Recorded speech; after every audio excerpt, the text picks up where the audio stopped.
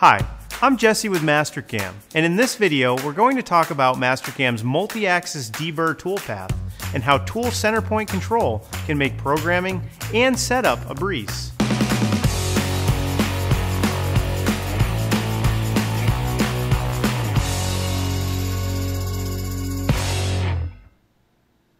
Tool Center Point Control, or TCPC, is a software feature in the Haas control that makes setting up 4 and 5 axis jobs as easy as setting up a 3 axis machine.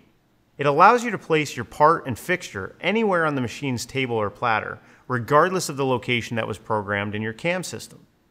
TCPC will automatically determine the difference between the WCS programmed in CAM and the center of rotation within the machine and apply the appropriate offsets in real time. Now that we understand what TCPC does, let's look at a real-world example. We're going to deburr a handful of edges on this mold core for a computer tower. You'll notice that we have a plane called WCS G54, and that it's different than the Mastercam top plane, which represents the center of rotation on the UMC. This difference isn't required for programming this part, but it's a good way to help emphasize the flexibility of TCPC or G234 on the new Haas control. Typically, without TCPC, we would need our G54 offset down at the center of rotation not only in Z, but it would need to be perfectly aligned in X and Y as well. This is because machines without TCPC are only aware of the center of rotation of the machine itself. If we don't set up our part file correctly in CAM before running the code at the machine, we can end up with broken tooling, damaged parts, or worse. Thanks to TCPC, we can put our work offset anywhere that makes the most sense. In this case, we're placing it at the top center of our Lang fixture plate, which will be easy to probe at the machine during setup. Now let's look at programming the deburr toolpath. This part calls for at least 15 thousandths edge break. Typically, this would be done by hand after the part was complete, but we're going to integrate this into the machining process to save time and reduce the chance for human error. To do this, let's go to the Multi-Axis Gallery on the Toolpaths tab and launch deburr. For this operation, we'll use an eighth inch ball end mill. Keep in mind that multi-axis deburr only supports ball and lollipop end mill tool types. The holder is already defined and is a shrink fit with 3 quarters of an inch stick out. On the cut pattern page, we can select the entire part by triple clicking on it. We now have the option to have deburr automatically detect which edges need to be broken, or we can use user-defined edges. Since we're only worried about a few specific edges, we'll define them ourselves by selecting the solid edges right off the model.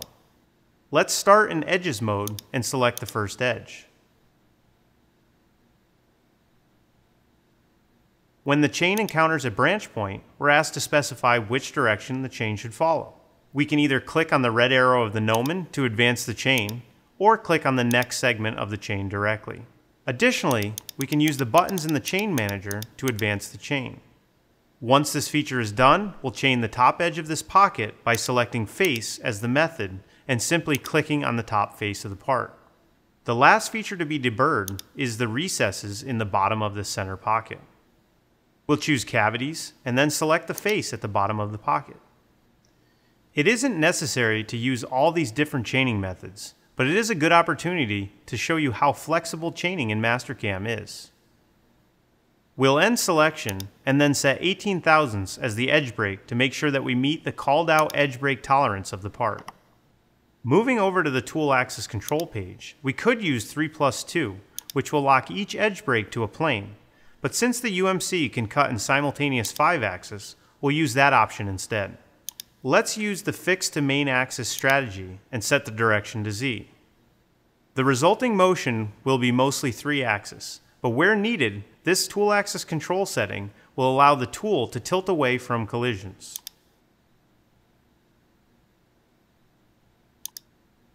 On the linking page, we'll select a user-defined clearance plane along the z-axis, and we can right-click and choose z-coordinate of a point. We will then select a point on the top of the model. Let's add about an inch extra onto this value to give the tool a little more clearance. Let's also replace the rapid moves with feed moves and set the speed to 500 inches per minute. The UMC prefers feed moves during plane changes, so this setting will result in smoother rotary behavior at the machine. Once the toolpath is generated, we can review it and backplot.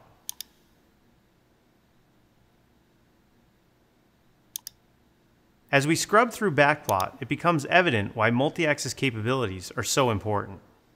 The tool is able to tilt in different areas to avoid collisions, all while maintaining the exact edge break we specified.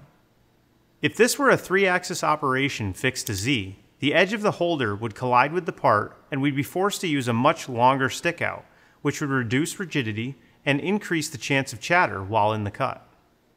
Now that we're satisfied with how the backplot looks, Let's move over to the machine and talk a little bit more about how the TCPC functionality on the UMC helps us cut a part like this.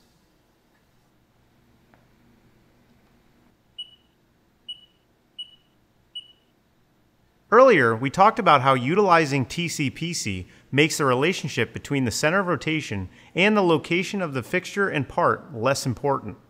When this fixture was bolted down, we didn't worry about the exact location on the table we simply picked up the ground face of the part to be parallel with the x-axis and set that as the c-axis rotation for our G54 offset. Next, we probed the center of the fixture in x and y and touched off on the top for z. TCPC will track that work offset against the center of rotation in real time when we hit cycle start. Not only did this make this setup simple, it also means that if we need to run this part again in the future, we don't have to worry about getting the fixture back in the exact same location or needing to make any changes to the plane data in Mastercam. Simply pick up the location of the fixture again and let the part run. And speaking of letting the part run, let's look at this deburr toolpath in action.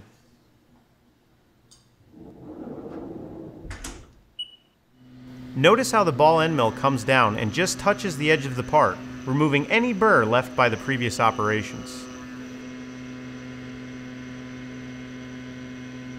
Also notice how the tool only tilts when it needs to.